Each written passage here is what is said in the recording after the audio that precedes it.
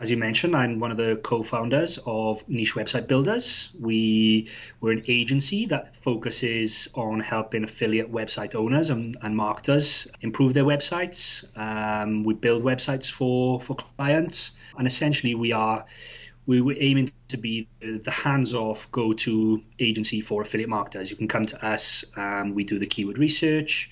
We have a team of in-house content writers, um, so it's all all based here in the UK. And then we do the the formatting and uploading, and then we have additional services like um, link building and uh, web building services too. Before this, so that company is quite new. Um, we started that company uh, in December but since then we've grown we've grown really quickly. We've had some good industry recognition. We our, our retention rate is, is insanely high so our client base is, is growing really quickly. Before that um, i was just a, a, regular affiliate marketer myself. Um, that's kind of how how we got started me and mark with the company. In fact mark heard me on a, on another podcast and I was talking a little bit about my frustrations in outsourcing content and finding good quality writers and that whole space and Mark was experiencing something very similar, so he reached out. Um, interestingly, me and Mark live about two and a half hours, three hours apart. So, I mean, we've grown this business together, but we've only ever met each other in real life like three or four times. So,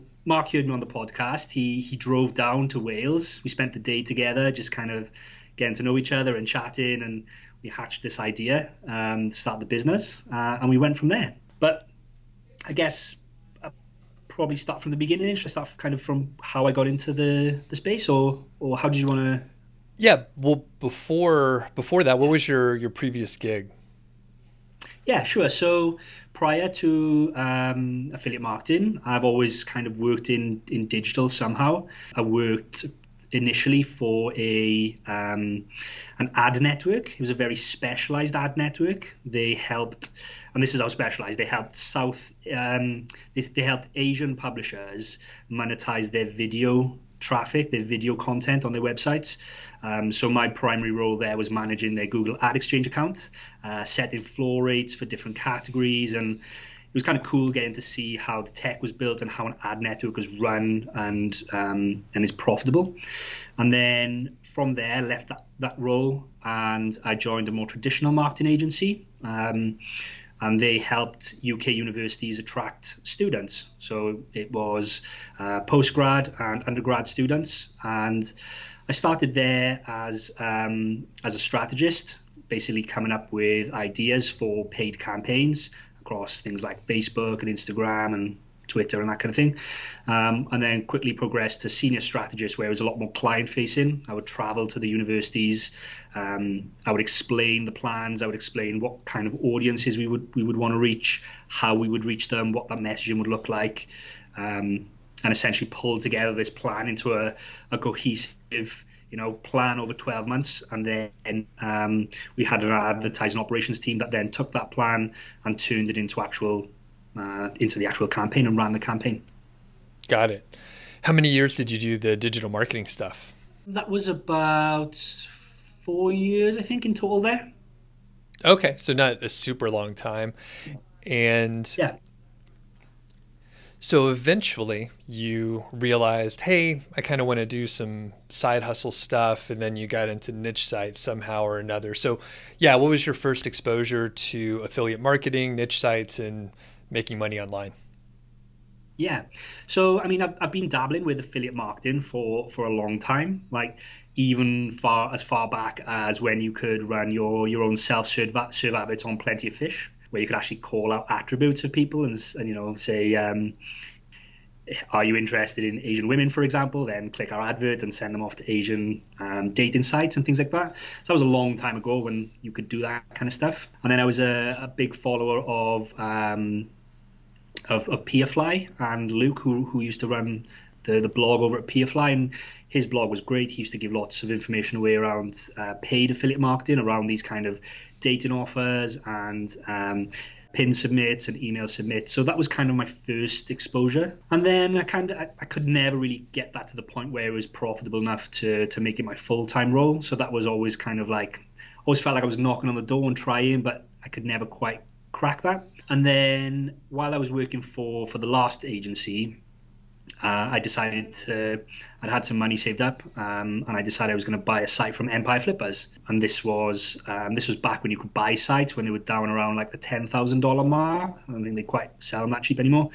Um, and yeah, I had this money there, and I thought, right, I'm gonna I'm gonna go into this. I have a good exposure and good knowledge of, of SEO from my from my day job, so I mean, let's do it. So I, I, bought a site. I was looking at the numbers before this call. Actually, was thirteen and a half thousand dollars is what I paid. It was in a niche I literally knew nothing about. Uh, it's about barbecues and smokers, um, and we, we don't even we don't even have smokers in the UK, and we just have barbecues.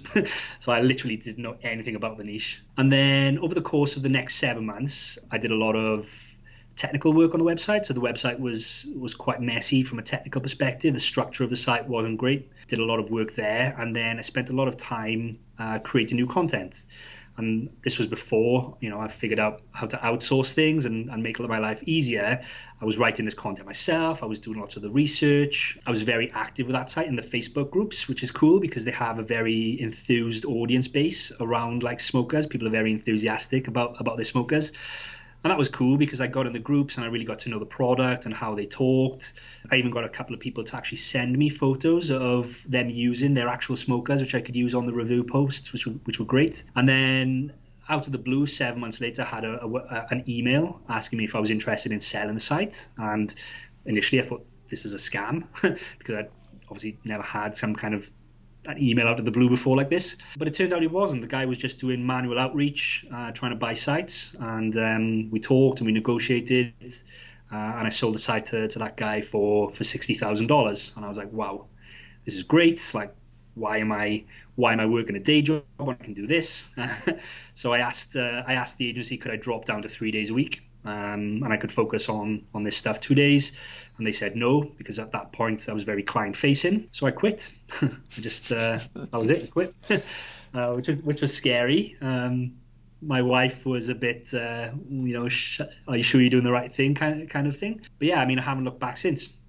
That was kind of my first foray into into this world. How long ago was that? This was back in 2017, I believe. Okay, so end so, of 2017, beginning of 2018. Okay, so just about three years. Amazing. And do you have? Do you happen to remember how much money you invested into the site after the purchase amount? Yeah, it wasn't a lot in terms of monetary value. Um, I did almost all of the work myself. It was very time intensive. I was working obviously quite a, a, demanding job, so most of my evenings and weekends were spent working on the site, which mainly consisted of writing content. I'm not a natural writer. Like writing isn't my natural skill, so it was. I think it was a bit, more difficult than that should have been as well, trying to perfect how to write these, this type of content. So yeah, I, I guess in terms of money, there was very little of actual money involved. I didn't really outsource anything, which is which was probably a good thing because it meant I had to learn everything from the ground up. Okay, so uh, nominal, uh, you know, maybe a couple hundred bucks max. Yes. Yeah. Okay. Very cool. And then, how much time did you have the site? Uh, for seven months. Seven months. So obviously, great turnaround. And what? Okay, you sold the site you have roughly 60K, you pay some taxes, some other stuff. And actually, before I move on to what you did with that money, yeah. how did you sell the site? So I know someone contacted you. You obviously yes. didn't pay broker fees, you worked directly with the individual. So, can you tell us about the actual mechanics of like what you shared on the site as far as traffic, revenue? Did you give them access to certain pieces of information? In the transaction, did you use an escrow? What legal documents were drawn up? All the kind of boring stuff, but this is yeah. deep in the weeds. So, what did you do? Yeah. Yeah, I, th- I, think I was a little bit naive back then, obviously being the first time, and I've, I've gone through this process many times afterwards, and it's looked slightly different, but essentially they're the same things. Um, I always always use escrow.com as the escrow service. I think there are other providers out there, but I've always I've always used escrow.com. I find them to be to be very good. I know that they don't work with with some countries, um, which can be a pain if you're trying to, to buy or sell a site from someone within these countries. And in that instance, depending on the the, the value of the sale, sometimes it's best to walk away. I, have been negotiating with people to buy sites and they can't use escrow and they suggest like Payoneer, and it's always that you know, okay, you send me the site first and I'll send you the money. And they say, you send me the money and I'll send you the site. And I mean, just end up walking away because it's just not worth the risk. But so we used escrow. I always give access or give him access to Google Analytics. So read only access to Google Analytics so they can go in and check the traffic. Um, I mean, they can do something similar by looking in Ahrefs or SEMrush, but I mean, it's not super accurate. I guess the thing they're looking for there is to make sure that there's not just one or two pages that are driving most of the traffic. And they also want to check that the traffic is coming from, you know, predominantly the US or the UK, depending on what the site is. As they just want to make sure that most of the traffic is organic, or, or if it's social, where where is that social traffic coming from, and are those accounts included in the sale? But for this sale, it was it was primarily Google, it was primarily the US. Um, it had a nice split of traffic across a number of pages, so there wasn't really uh, there was no real issues there. I can't remember with this one if I just sent screenshots of the, the Amazon account, so the um, the earnings, uh, including the tag, so they could see that this was the actual tag that was driving the revenue, or if we actually did a, a video walkthrough. I think we may have done a, like a, a screen share and I did a video walkthrough showing showing the revenue in the Amazon account. And then afterwards, then there was a I don't remember the, the amount of days, a seven or a 14 day inspection period where essentially they funded the escrow account. I've sent them the login details and um, pushed the, the domain to them. Uh, and then they get either seven or 14 days to go in and switch out their affiliate tags, ensure that the revenue is, that I promised or that looked that was I stated was making was actually real and was coming through into their Amazon account, and that everything looked good on, on their side with analytics. And then once that inspection period is over and they're happy with with everything, they tell escrow that they've received everything and they're happy, and then escrow releases the funds to to the seller then, which which was me. Um, so that whole process, I guess, from start to finish, probably took like three or four weeks by the time we kind of uh, sent over all the details. They checked them. We then were negotiating on price a little bit, um, and then obviously we had the inspection period.